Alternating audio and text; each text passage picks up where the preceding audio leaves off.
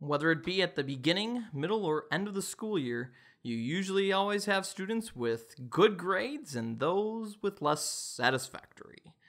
In this episode, we'll teach you how to communicate clearly your excitement to parents or your concern using Infinite Campus's Grade Messenger.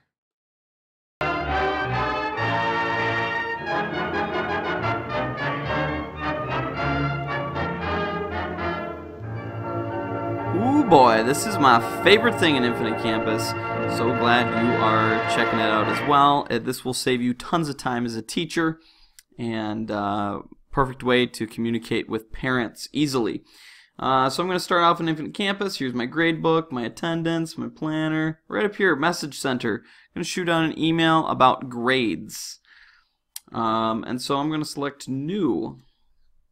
Okay. And instead of class message, I am going to highlight my grade message. All right, and press OK. And uh, so we're off and running. Now, normally, if you select this grade message, you're going to get a default message down here. And it's a little hokey, I think, actually, myself. But feel free to use it and ramp it up if you want to. Basically, what this would say is your student we'll say Ben has earned a grade in the course geometry. Please sign into your school's parent portal at, and then it'll give you the URL address to find more information. Now, that doesn't really say much. It doesn't even say if they're earning a high or a low grade. And I have checked in on this, and it's because we can't send um, uh, personal grades through emails uh, or Infinite Campus doesn't want to uh, do that just because of security reasons. And so uh, we've actually written a template that actually gives a little bit more information. Um, and I think you might find it a little useful. So right up here, right after you select grade message, come down here to the user groups and highlight your school. Now, uh, possibly your school might not have this, but uh, Craig has it because I did it.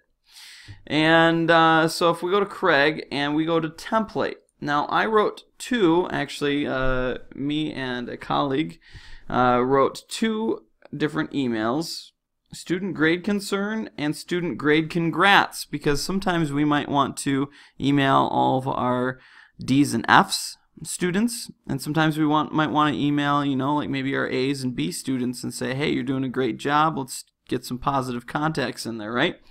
So let's just say for the time being uh, let's do the grade concern um, and they're obviously written differently just press OK and the next thing you want to make sure you do is uh, you can select which one you want it to go to. I always suggest emailing for sure and then you want to make sure the date, the delivery date. Now, I saved this template last on 1-7-16, but you might want to change that to whatever the date is that you want to send it out. That's very important, actually. Um, and then here's the time that you would want it to roughly be delivered on that day. And then you make sure you come down here and change the email to your own. Alright, so the uh, parents know who it's coming from. I've already uh, entitled the subject grade concern. And then you can see there's a, a, little bit longer email basically saying they've earned a low grade. Now, it's up to you to determine what a low grade is, and I'll show you how to choose um, those students. And once again, if you want to change something else, if you want to write some more personal stuff, you can feel free to type in here. My only um, my only concern here is do not save um, because if you save, it's going to save it under the Craig all and it's going to change everybody's templates. So if you're going to save, save as and if you do change the email, save it. Don't save it under Craig because that'll muck up the Craig. Save it under your own user, okay? And then nobody will be able to read your emails to parents. So save it under your user account and then only you can view your templates. Once again, if you save it under Craig, everyone will see those templates. So just to help help help it out. All right. Um, next thing you do after uh, you're satisfied with the message, you, you go to next. And here is a very important thing that I always forget to do.